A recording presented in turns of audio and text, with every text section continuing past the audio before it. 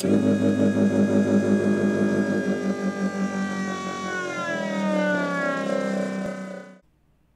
everyone.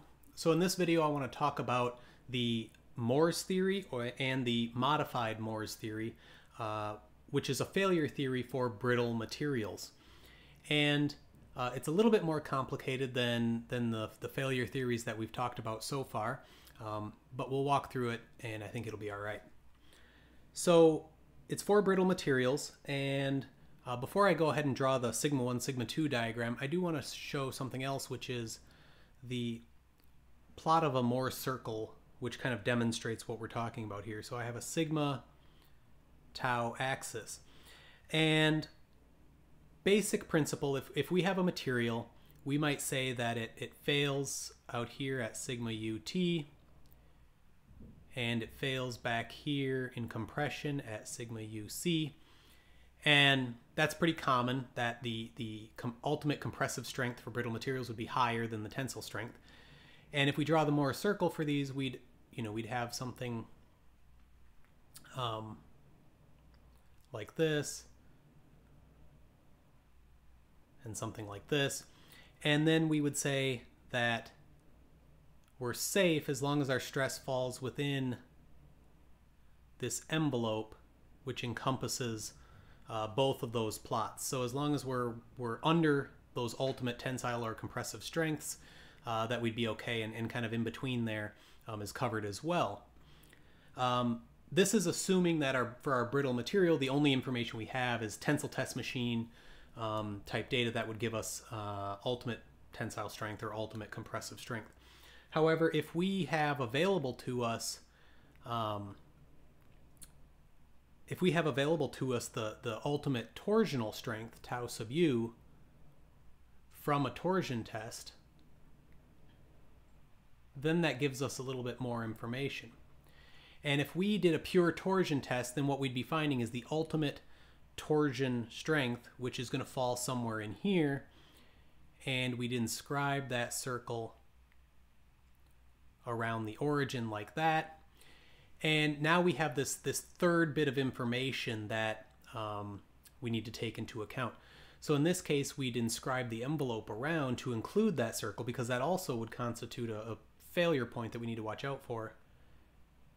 And I would kind of give this this shape around here. Now, obviously, my circle didn't go down far enough down here, but um, the general principle is we inscribe all three uh, of those those circles in order to be considered safe.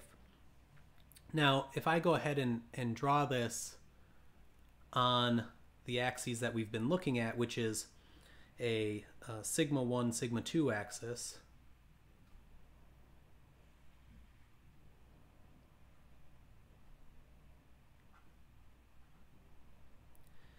then I can go ahead and, and mark my ultimate tensile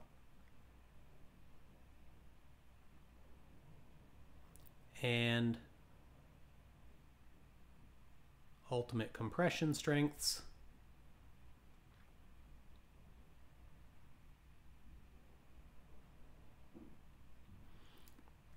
And then I'm going to connect the dots more or less between these points.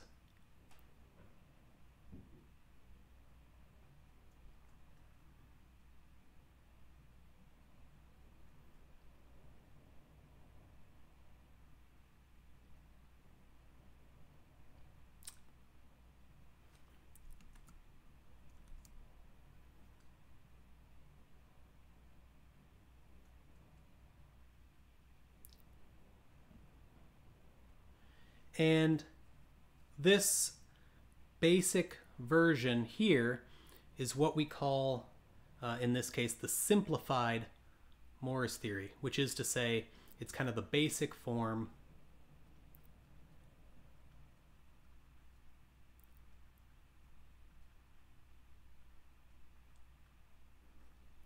that encompasses that, that tensile and that um, compressive component. Now, if I want to take in the, the additional bits of information and kind of really flesh out the theory or the, the full um, analytical expression, I would actually have curves that look something like this. And I'll see if I can draw these in. So kind of these blue dashed lines. And this would be what we call the true Mohr's theory. However, very few um, calculations that we might do would actually uh, use that, that true version. It's mathematically a little bit more complicated. So instead, uh, what we might do is we can dash in a line this way and this way. And the slope of this line is sigma 1 over sigma 2 is equal to minus 1. So it's got a 45 degree angle passing down there. And then we go ahead and find where that line crosses our true Mohr's theory and oops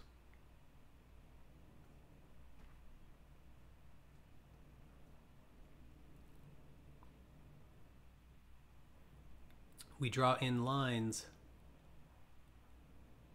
that intersect with those two points.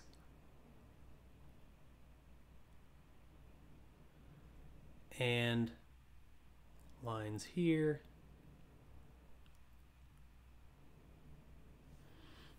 And we get this kind of red shape. Well, okay, black here, red in the quadrants two and four, and black on this side. And that shape is what we call the modified Mohr's theory, which would be what would be more commonly used.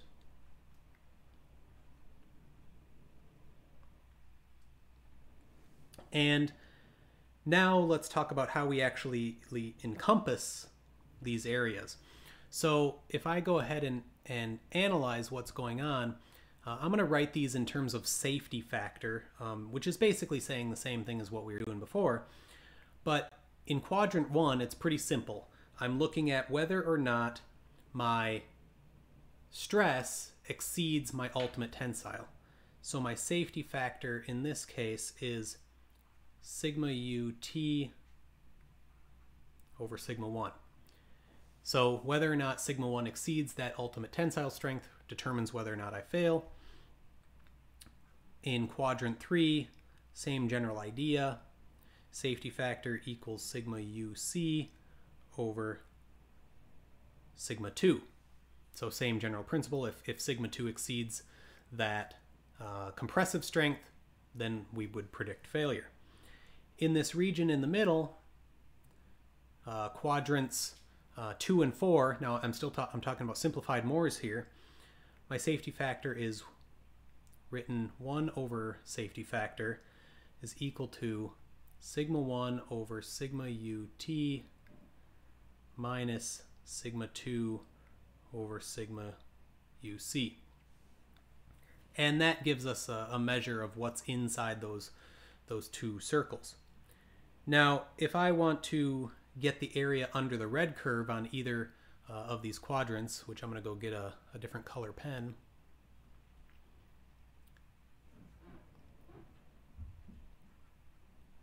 then my equation ends up looking like sigma ut sigma uc divided by